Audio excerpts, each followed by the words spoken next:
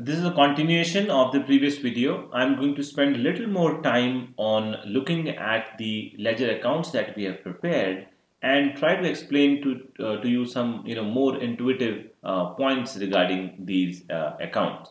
So uh, we have posted all these transactions in all the accounts and earlier we discussed how uh, the bank account on one side shows you all the inflows on the other side shows you all the outflows and you know makes it easy for you to figure out what is the uh, you know balance in the bank account at the end of these 14 transactions. Let us look at the rest of the accounts as well to you know uh, uh, get an intuitive sense of what what does it mean? What is on the debit side and what is on the credit side.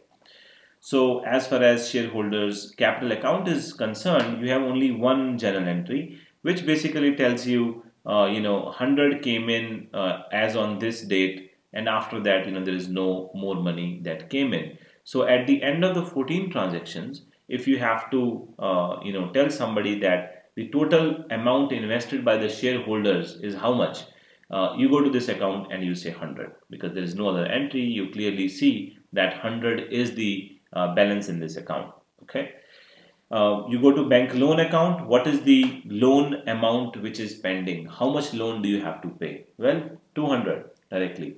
Now this is only one entry so it seems uh, you know very obvious you could do it using the journal entries also but if there are you know more transactions you have paid some EMIs some interest as well then things become a little more complicated. So for now you know uh, this is what bank account tells us. Now purchase account purchase account uh, tells us how, how, much is the total amount. What is the total amount of say uh, purchases that you've done during the year from your vendors? Now we have total uh, purchase of 100 during the year if we look at this column here.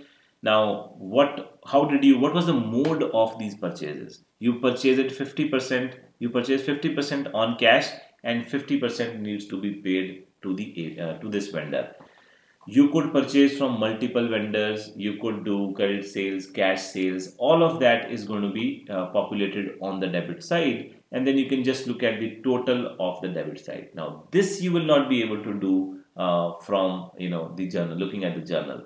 Uh, so you know again i'm repeating this is a simulation. The transactions are very minimal just to give you a hint.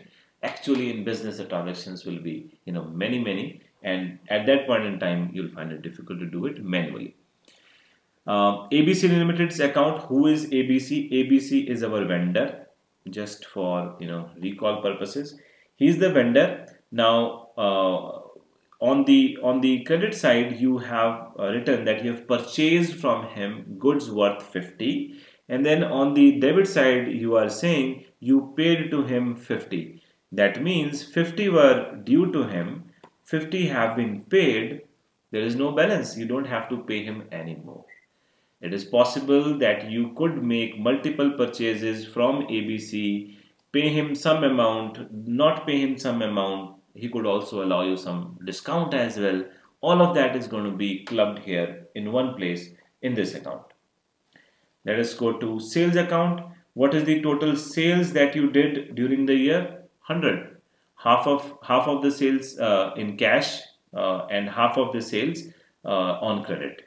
Who did you sell to on credit? I sold to PQR Limited on credit. Great. So, you know, there you have it, all the sales in one place. For PQR, who is the customer who has, uh, you know, received the goods from us and not paid back 50, on the debit side, you've written we have sold to him goods worth 50. And on the credit side of PQR's account, uh, you're saying he has paid to us 40 but 10 are bad debts. There you go, a summary. You've you've classified all the transactions into uh, you know different uh, based upon their account. So all PQR transactions have been classified here at one place, brought into uh, this account, and now you can just have a, a, quick glance at it and come to some understanding, some uh, conclusions. So building account, well you on the debit side you have a payment that you made and you purchased building worth 100 and then you sold the building and there was some depreciation as well. So you have 100 uh, as the total building purchase but some building has been sold and you know value of building has gone down due to depreciation so the uh, the balance left uh, in the building account is about 60 so book value of building is 60 at the end of the uh, 14 transactions now in a business you would have multiple properties multiple buildings you could sell buy and so on so everything will be collected at one place Depreciation account tells us that total depreciation uh, which has been charged during the year uh, is 10. When I say charged, I mean this is the expense. You do not pay this to anybody, but you just charge it to your uh, you know incomes. Out of the incomes, you have to deduct this in order to calculate profit. More on that will be uh, you know clarified as we move forward. So right now, if you have to prepare the you know income statement and you have to say, okay, what are my depreciation expenses? You go to this account and you say 10 and you are done. And there can be multiple um, types of assets, so depreciation could be clubbed under one account. Then you have rent account. You have to figure out what is the total rent paid during the year. You look at this account, you have 20. Again, only one transaction, but you could have multiple transactions, monthly transactions, and then you could figure out uh, what is the rent. And rent could increase during the year. So the calculations may not be as straightforward as one would imagine. Interest income account what is the total interest that you uh, received during the year? Well 10 on the credit side there is only one item. You got this money in the bank account. So 10 is the total interest income.